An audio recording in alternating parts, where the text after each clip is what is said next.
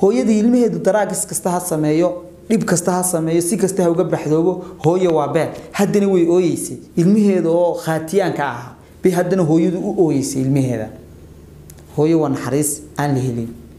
Waxaana garan karaa qofkii hooyo waaye dhibaatooyin badan baad kala kulmaysaa. Inkastoy jiraan waalidiin badan oo ubadkooda ilaaliya oo ubadkooda la socda balse haddana qadartu ay ku dhacdo qaar badanna waxaan odhan karnaa waalidiin badanna ubadkooda iyagaa dayacay baynu odhan karnaa. Sababtaa weliba dadka qurbaha jooga inaadan dadka dalka jooga ka taxadir badnaantaa baa fiican. Sababtoo adiga ubadkaaga haddii aad ilaalin weydo haddii aad xitaa qol gaara u samayn weydo macnaheeda waa lagaala wareegaya kulanti wacan oo wanaagsan akhyaarta qaaliga mudanayaal iyo marwooyin meel kasta adduunka dacaladiisa ama adduunka daafihiisa aad ka joogtaan waa hagaag. Maanta waxaa inoo wadaa arrin aada u muruga badan oo arrin hooyo qabsatay iyo kolley wiilkeedu inaynu dhahno wax kasta waa qadar balse haddana bal wiilkaasi waa wiil sideeya. Dadku badanaa waalidiintu ubadka ay dhalaan qaar baari bay noqdaan qaarna waalid adeec bay waalid caasi bay noqdaan. Waa waalid adeec iyo waalid caasi.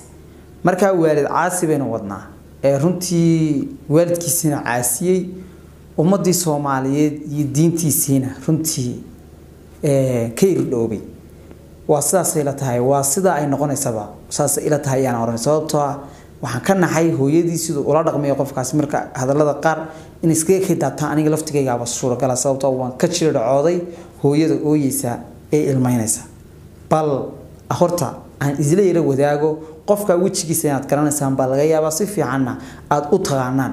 Bal siduu waalidkiisa ula hadlayo iyo ereyada isaga iyo waalidkiisu ay isweydaarsanayaan bal hadda ila soo yaro dhugto ila soo yaro eega isma sheeganayna ha sheeganin haddaad rabto haddaad dhibkayga adana waxaas dhibka inaad isugiso ad eebisaba adduunka baad iigu joogtooda maanta maanta adii hayso. Deeqaw haddaan dhintana ii imaani kana ii waxbana ii tarin. Hooyo hadda aniga ani caabaan ku soo jeeday malaha aniga waxaan ahay qof qof duganaan ahay. Haddii adiga aad dareensan tahay oo adiga aad u fikiraysa inaan ku ceebeeyey meelwalbaba adigaa dhahday waad ii qabaa meelwalba adaa sawirkaada dhigtay meelwalba adaasaa dhahday deeqaw waad i ceebeyse waad i ceebeyse ceebtaan ku soo jeediyay adiga maxay tahay adiga nafsad ahaantaada ceebtaan ku soo jeediyay maxay tahay aniga waxaan ahay anigaan ahay oo nafsadeedaan u ahay laakiinse adiga nafsad ahaantaada waxaan kugu ceebeeyey bar aniga iga dhaadhacsi maba fahansanayba kolley waad aragtaan siduu hadlayo siduu waalidkiisu ula hadlayo sida islaantii u ooyeyso hooyadii u ooyeyso de kolley wuu ceebeeyey ayadii u ceebeeyey laakiin iyadoo qura muu ceebeynin. Wuxuu ceebeeyey diintiisii wuxuu ceebeeyey dhaqankiisii wuxuu ceebeeyey dadkii uu ka soo jeeday iyo soomaalidii. Midda isweydiinta mudan markuu barnaamijyada qaar bilaabayo waxa uu ku bilaabaa assalaamu calaykum. Horta maxaa tahay ku weydiiye horta wiilow islaam baa tahay mise gaal baa tahay? Kaba soo qaad waaye diin baaba nala sheeganaysaa islaam baa tahay. Qof islaama oo nina oo nin qabo macnaheeda waa sidee? Halkeese ku aragtay adiga hortaa mooye dad islaama oo nin iyo nin isqaba ama gabadh iyo gabadh isqaba. Halkaad ku aragtay balse dad islaam tahay diinta islaamka aad nala haysata halkay kaga taallaa aad ku aragtay. Horta diintana ha naga ceebayn dhaqankana ha naga ceebayn. Wax kastaba horta diintaa ka weyn. Marka adigu diin iyo dhaqan wax alaalay waxaad reebatay horta ma jirto waalidkaaga saad ula hadlaysayna waa si fool xun midda kale waxa kuu ayaan darro ah oo kuu sharaf darro ah inaad waalidkaaga aad ka duubto muuqaal welibana muuqaalkaas oo ah muuqaal hooyadii ooyeyso hooyadii calaacalayso ood weliba dhacdaygaaga hooyada aad ku leedahay rag baad dhashay ubad baad dhashay calaasasaasu leeyahy hooyadii buu ku leeyahy dad baad dhashay hooy aniga dabaday iyo carruur miyaad igala tashatay aniga? Markaad ubadkaa dhalaysa waayo waxaan ka dareemaya halkaa hadaladiisana ka maqlay inuu yahay curadkeedii. Macnaha waa hooyo curadkeedii ku khasaartay. Bedel khayr qabana allaha siiyo. Isagana allaha soo hadeeyo habaare mayne. Markaa waa waynu ducaynaynaa. Hooyadana waynu ducaynaynaa ubadkeedana inuu ilaahay u sakhiro ayaynu ugu ducaynaynaa. Midda kale waxaa hadaladiisa ka mid ahayd uu hooyadii ku lahaa hooyo markuu tii hooyadii dhameeyey ku yidhi maxaad aniga iila tashan weyda? Markaad ubadka dhalaysa wuxuu ku yidhi hablahaaga sota hooya la qabo. Maxaad aniga iigu diidaysaa in lay qabo? Macnaha hablahaagu dee rag baa qabaa dee anna nin bay qabaa ba hadda eeg siduu siduu u fikiraya maaha si laba jirku xitaa u fikiri karo. Waa si aynu ku sheegi karno xayawaannimo. Waa si aynu ku sheegi karno badownimo waa runtii inkaar iyo nacdal intiba way ku dhacday allaha ku ridiyey mid maaha sida runtii uu la dhaqmeeyey waalidkiisa. Balse ma jiraa gaal iyo islaam toona ma arag qof hooyadii ama waalidkiisa muuqaal ka duubaya ama sir ka duubaya. Hadeeg ma jirto. Talabaad wuxuu taagan yahay aniga hooyo markayga horeba werigamaad haynin waad i nacday waad i necbayd dee i nabadgeli ma laga maarmaa hooyo lagama maarmo. Midda kale haddii hooyadu ku dhashay xitaa kaa tagtay abaalkeeda ma gudi kartaa? Sagaalkii bilood ku soo sitay oo qudha maan laa waatay. Runtii dhalinyarada aan garanayn waalidkooda xushmadda ay ka mudan yihiin xitaa.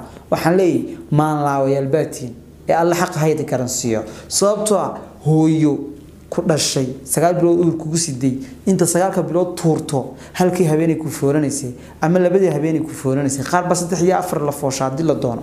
Oo islaanta sagaalkii bilood wax kaga daran ay la kulmaan ama garatee bal halkii habeenay ku foolanaysay ama labadii habeenay ku foolanaysay ma gudi kartaa? Waa maya. Waa sababta diinteennu hooyo laba jeer mudnaanu siisay. Aabbahana ay u siisay. Isagoo haddana aabbuhu yahay mas'uulka guriga iyo mas'uulka reerka.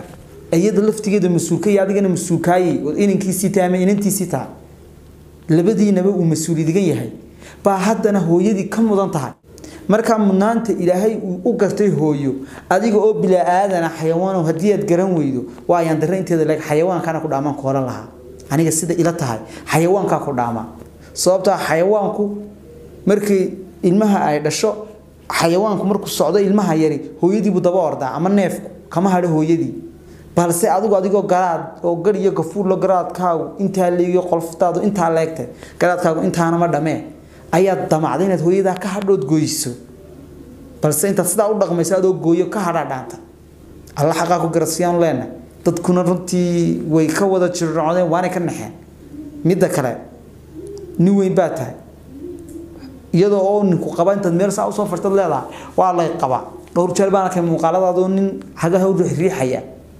Adigoo asxaabay la qaxweeya maanta ninkaygii baa imanaya naa lillahi weynaa ilayhi inoo dambeysay. Waxaan runtii aan wuxu sheegi lahaa horta qurbihii dadkii jooga hadday sidaa yihiin. Macnaha soomaalidana dad badan ba haddii qurbaha tagaan ay uga daraysaa. War dad badan bay halkan wallaahi rag ka dhigtay. Dad badan bay dad ka dhigtay halkani. Oo dad dad aan dad ahaan lahayn bay dad ka dhigtay halkani. Qurbuhu dad badan bay biyeen. Dad dad ahaabay biyeen war maxaa dad un xadhka lagu hayay? Oo saa loo xijinayay? Oo markay tegeen meel xora? Baabaay war maalin dhaweyd xitaa waxaan arkayay hooyo ooyeysa oo ilmaheedii daraagis bilaabay oo meel ay dhaceen kadibna faash la dhacay. Hooyadii ilmaheedu daraagis kasta ha sameeyo dhib kasta ha sameeyo si kasta ha uga baxdoobo hooyo waa beer haddana way ooyeysay. Ilmaheeda oo khaatiyaanka ahaa bay haddana hooyadu u ooyeysay ilmaheeda.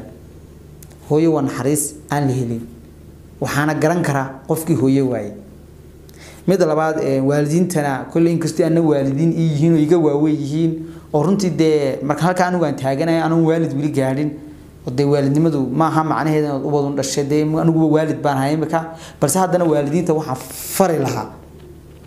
Macnaha inaguna haddaynu waalidiin nahay ama idinkuna aada waalidiin tihiin ama mustaqbal aad rabtaan ood ubad doonaysaan macnaha idinkuna ha u dhalina ubadun dhala waa inaad idinkuna ubadkiina ka warhaysaan halka ay marayaan halka ay ku sugan yihiin waxa ay qabanayaan waxay kaaga baahan yihiin waa inaad adna ubadkii ka warhaysaa macnaha dad ubadkii dhasho un oo magaalada aadna ku sii dayso hadhowna aad tahdo waan ku dhalay un taasina macno samayn mayso. Dhibaatooyin badan baad kala kulmaysaa inkastoo jiraan waalidiin badan oo ubadkooda ilaaliya oo ubadkooda la socda balse haddana qadartu ay ku dhacdo qaar badanna waxaan oran karnaa waalidiin badanna ubadkooda iyagaa dayacay baynu oran karnaa. Sababtaa weliba dadka qurbaha jooga inaadan dadka iyaga dalka jooga ka taxadir badnaantaa baa fiican. Sababtaa adiga ubadkaaga haddii aad ilaalin weydo haddii aad xitaa qol gaara u samayn weydo macnaheeda waa lagaala wareegayaa. Halkan lagaala wareegi maayo qol baad sideed ciyaad dhashiba ku xaraynaysaa. Masaduna intaad dhinaca allaag ugu dhufata dhinac jiifsanaysaa hadda eeg. Yaa laakiin halka waa lagaala wareegaya markaa maadaama ubadkaagii lagaala wareegayo? Ubadkaagii aanaad kantarooli karin. Ubadkaagii haddaad maagtuu ku dacweyn karayu kaa adag yahay. Wax qurux badan la saaxiibto ood saaxiib ka dhigato. Sababta adaa iskugu wacan inaad ilmahaaga saaxiib ka dhigataana way ceeb maaha xitaa. Ilmahaaga la saaxiib. Oo waaye dee cadow kale intuu kaa sii kaxaysan lahaa. Kolleyba cadow adaa u gacan geliyey la saaxiib ilmahaaga. Oo la heshii.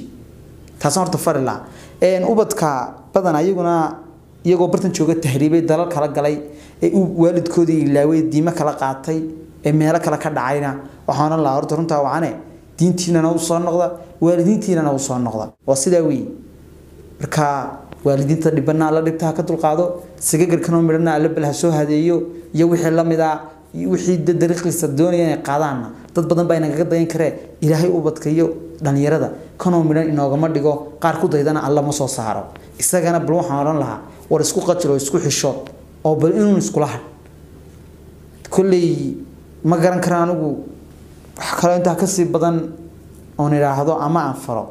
Balse aniga intaasi waa intii rayhaan aan odhan lahaa.